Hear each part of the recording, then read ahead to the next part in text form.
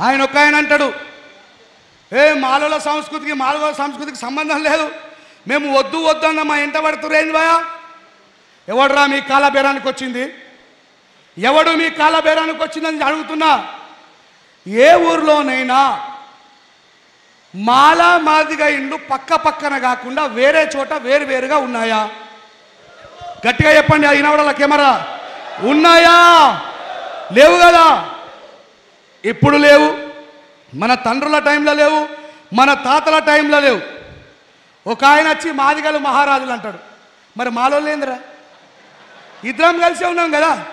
స్కూల్లో పోయి ఎస్సీలందరూ వచ్చి నిలబడడం వాడనగానే ఇద్దరం కలిసిపోయి నిలబడితే మీ- నీ మీద వివక్ష జరిగినా నేనే పోరాటం చేస్తే నా మీద వివక్ష జరిగినా నేనే పోరాటం చేస్తే నీకు బాబాసాహెబ్ అంబేద్కర్ గారి త్యాగాన్ని ఉద్యమాన్ని కలిసి అన్నదమ్ములాగా పంచుకుంటే మీ నేర్పితిని. అన్నీ చేస్తుంది ఈయననేమో మాదిగారు మహారాజులు అంటాడు? క్వశ్చన్ మార్క్ పెడతాడు. ఈయననేమో మాలలు మరి మాలలు మనవాదులు అయితే మీకు విద్య నేర్పినటువంటి నువ్వేం కావాలి? నీకు ఊపిరి పోసినటువంటి వాళ్ళ వల్ల నువ్వు సహాయాన్ని పొందిన నువ్వేం కావాలి? దయచేసి ఇలాంటి అవాకు చవాకులు మానుకొని ఎవడి పంచన ఎవడు చేరిండు ఎవడు ఏం చేయాలని చెప్పి చూస్తున్నాడో ఈ రాష్ట్రం చూస్తూ ఉన్నది.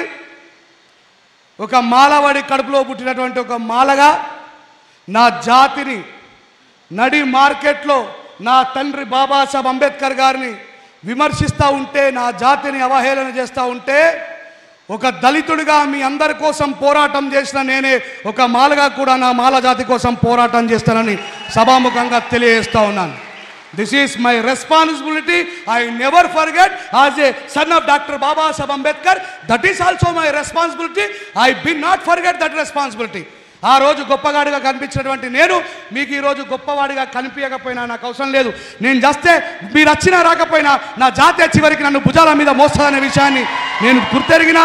తెలుసుకున్నా ఇన్ని రోజులు గోరెటి వెంకన్న గద్దరన్న జయరాజన్న లాంటి వాళ్ళు మనలో ఉన్నటువంటి మన రాజకీయ నాయకులు కూడా మనకు మద్దతుగా లేకపోవడానికి మిగతా వాళ్ళందరూ కూడా భయపడడానికి గల కారణం ఏంటంటే మా మాల జాతి మా వెనకాల ఉంటుందో లేదో అని భయం.